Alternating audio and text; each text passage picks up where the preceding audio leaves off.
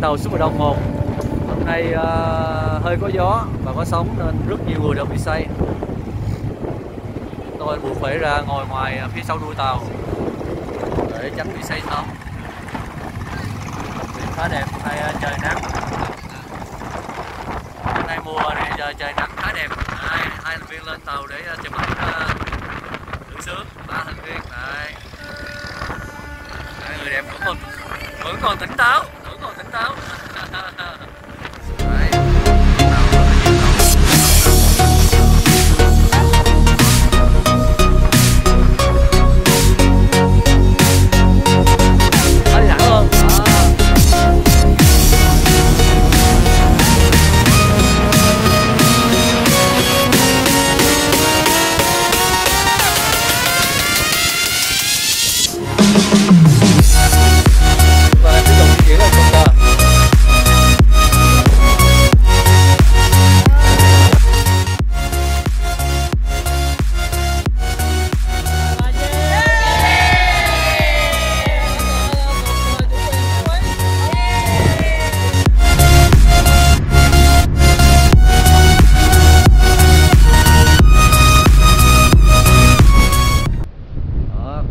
người đẹp tranh thủ tạo dáng.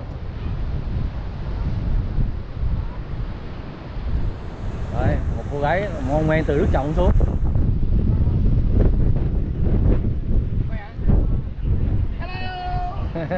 Đó là mon men từ ờ, Vũng Tàu ra.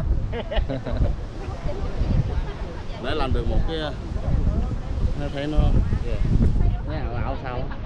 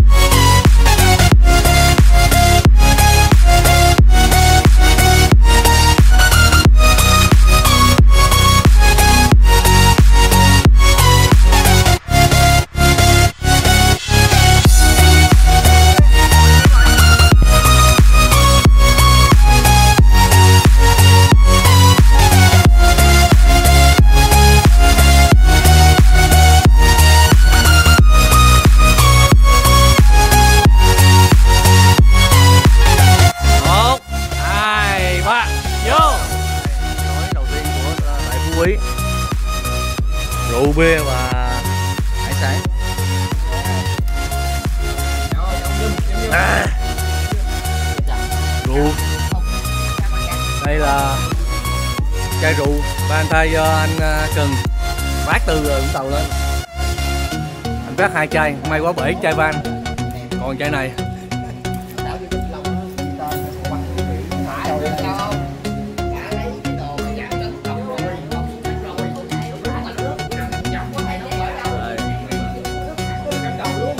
Đội tiêu diệt mồi đang tập trung ở đây.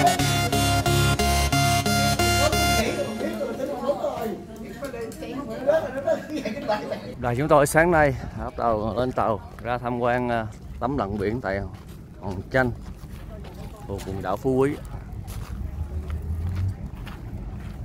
À leo phải đẹp chứ. À leo phải diễn. Đấy nói diễn xong là nó lệch. Đâu lên lên. ờ đó bơi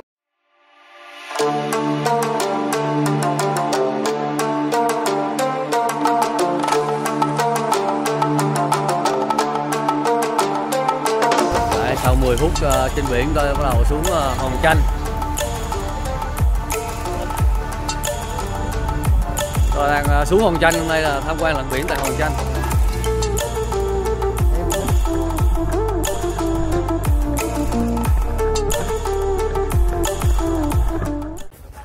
Chúng tôi đang di chuyển uh, từ Hòn Chanh đi mang theo đường uh, những rừng cây dương để ra điểm chụp ảnh à, những bãi hoang sơ những bãi tắm hoang sơ của Hòn Chanh.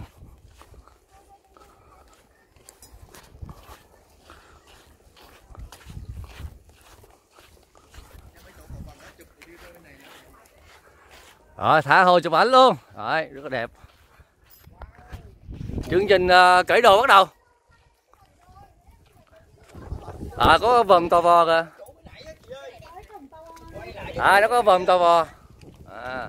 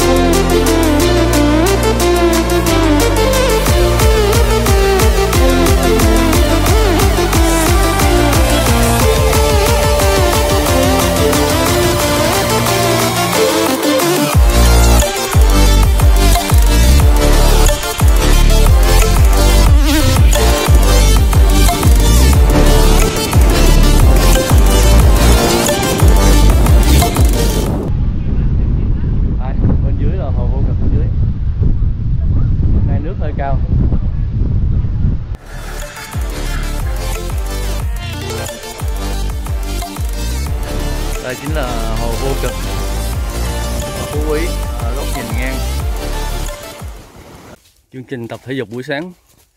Lên hải đăng ờ, phú quý. Chinh phục 152 bậc thang. Chúng tôi đang lên cầu thang để lên hải đăng. Đây, cầu thang trong bên trong của hải đăng.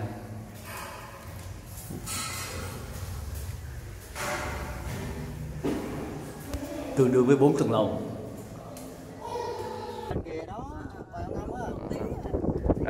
các thành quan rất là mát. Mỗi người một góc chụp ảnh mình chỉnh. Mình chỉnh đến đoạn nào là đến lúc mình thích là mình giữ. View toàn cảnh. Từ trên hải đăng nhìn xuống là tháp bắc hồ. Nhìn ra biển xanh ghê ha.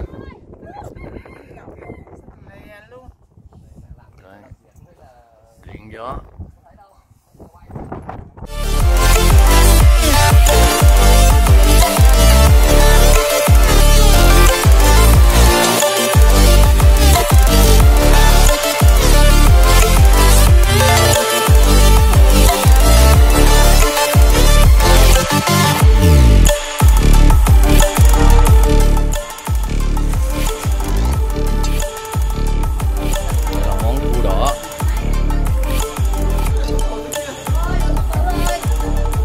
tối thứ hai tại Phú Quý.